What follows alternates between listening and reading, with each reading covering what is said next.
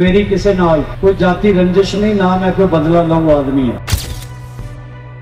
ਕੱਲ ਹਜ਼ਾਰ ਬੰਦੇ ਨੇ ਕਿਹਾ, ਅੱਜ ਬਦਲਾ ਲੈ ਲਓ ਇਹਦਾ। ਤੇ ਗੱਡੀ ਦਿੱਤੀ ਤੋੜ, ਦੋ ਬੰਦੇ ਹੋ ਗਏ ਜ਼ਖਮੀ। ਮੇਰੇ ਮਨ ਵਿੱਚ, ਮੇਰੇ ਚਿਹਰੇ ਤੇ ਤੁਸੀਂ ਮੌਤ ਦਾ ਖੌਫ ਨਹੀਂ ਦੇਖੋਗੇ। ਮੈਂ ਕਿਹਾ ਟਾਈਮ ਆ ਗਿਆ ਆ। ਸ਼ਹਾਦਤ ਤੋਂ ਬਿਨਾ, ਬਲੀਦਾਨ ਤੋਂ ਬਿਨਾ ਕੌਮਾਂ ਜਾਗਦੀਆਂ ਵੀ ਨਹੀਂ। ਲੜਾ ਪੜਾ ਕੇ ਜੇ ਐਮਪੀ ਬਣ ਵੀ ਗਿਆ। ਮੇਰੇ ਮੇਰੇ ਲਾਨਤ ਹੈ ਮੈਨੂੰ ਕਿਸੇ ਚ- ਇਕੱਲੀ ਜਗ੍ਹਾ ਬੁਲਾ ਲਿਓ, ਮੈਂ ਬਿਨਾਂ ਗੱਲ ਮੈਂ ਤੋਂ ਆ ਜਾਊਂਗਾ ਮੇਰਾ ਸਿਰ ਹਾਜ਼ਰ ਹੈ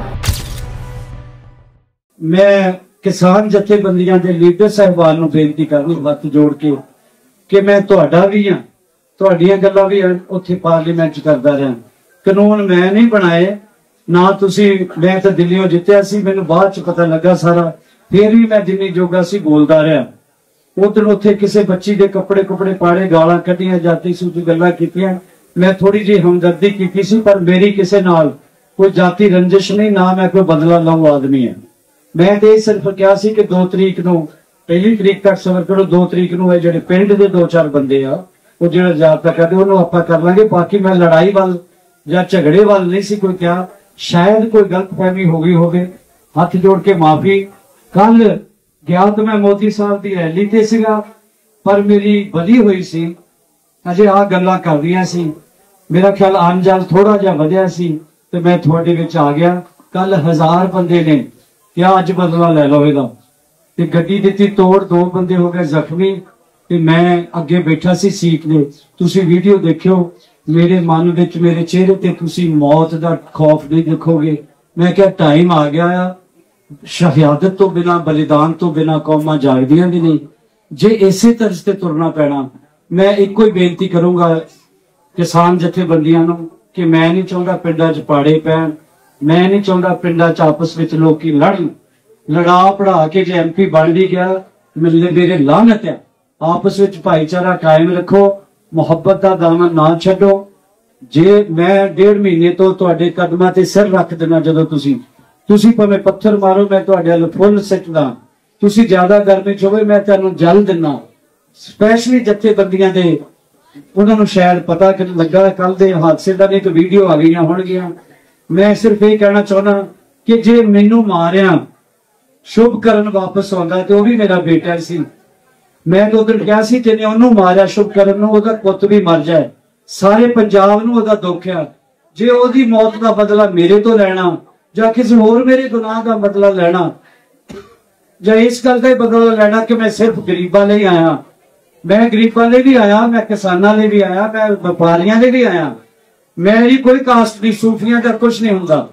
ਮੈਂ ਇਹ ਹੱਥ ਜੋੜ ਕੇ ਬੇਨਤੀ ਕਰਦਾ ਕਿ ਜੇ ਕੋਈ ਐਸਾ ਇਰਾਦਾ ਵੀ ਹੈ, ਮੈਂ ਨਹੀਂ ਚਾਹੁੰਦਾ ਡਰਾਈਵਰ ਮੇਰਾ ਬੇਟੇ ਵਰਗਾ ਆ, ਉਹਨੂੰ ਕੁਝ ਹੋਵੇ, ਮੈਨੂੰ ਕਿਸੇ ਚ- ਇਕੱਲੀ ਜਗ੍ਹਾ ਬੁਲਾ ਲਿਓ, ਮੈਂ ਬਿਨਾਂ ਗੱਲ, ਮੈਂ ਨਾ ਤੋਂ ਆ ਜਾਊਗਾ, ਮੇਰਾ ਸਿਰ ਹਾਜ਼ਰ ਹੈ।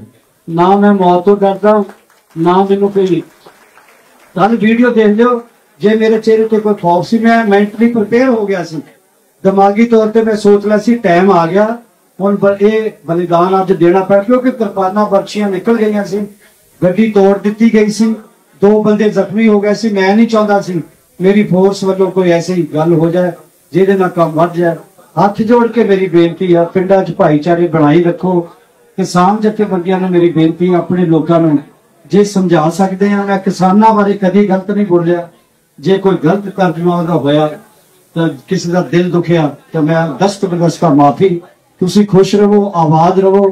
ਕੱਲ ਮੋਦੀ ਸਾਹਿਬ ਆਏ ਸੀ, ਉਹਨਾਂ ਨੇ ਮੈਂ ਇੱਕ ਵਾਰੀ ਫਿਰ ਦੁਹਰਾ ਦਿਆ।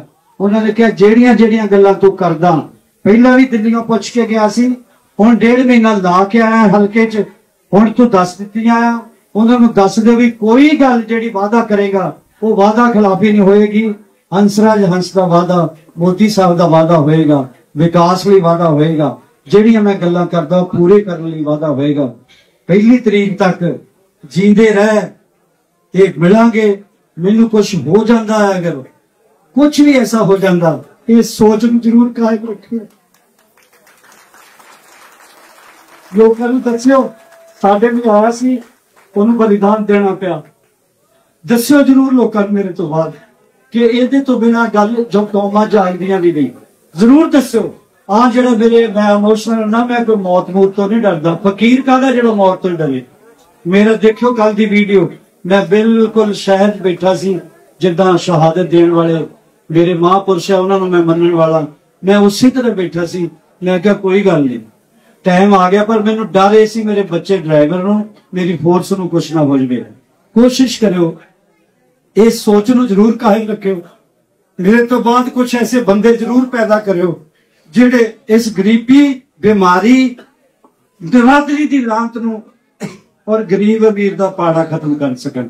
ਇੰਨੀਆਂ ਮੈਂ ਬੇਨਤੀਆਂ ਕਰਨੀਆਂ ਸੀ। ਵਾਹਿਗੁਰੂ ਜੀ ਕਾ ਖਾਲਸਾ, ਵਾਹਿਗੁਰੂ ਜੀ ਕੀ ਫਤਿਹ।